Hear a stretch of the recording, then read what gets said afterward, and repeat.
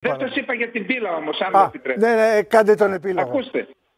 Έχει τεράστιο ενδιαφέρον να διαβάσουμε την ε, ανακοίνωση του τουρκικού Υπουργείου Εξωτερικών με την οποία προσπαθεί να αντικρούσει την ανακοίνωση, την δήλωση του Συμβουλίου Ασφαλείας του ΟΗΕ για το θέμα. Ναι.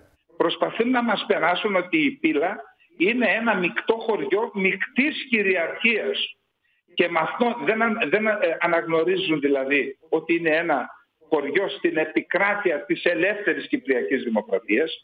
Και αν δείτε στο χάρτη, γράψτε όρια κοινότητας πύλας, η πύλα έχει μέτωπο στη θάλασσα.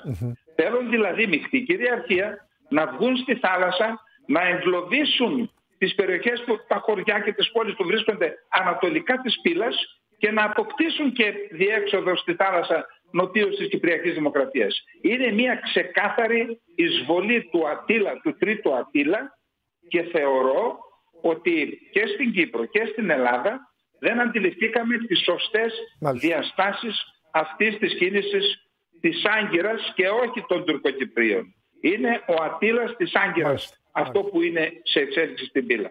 Από καρδιά σας ευχαριστούμε κύριε Καλεντερίδη. Να είστε καλά. και εγώ ευχαριστώ.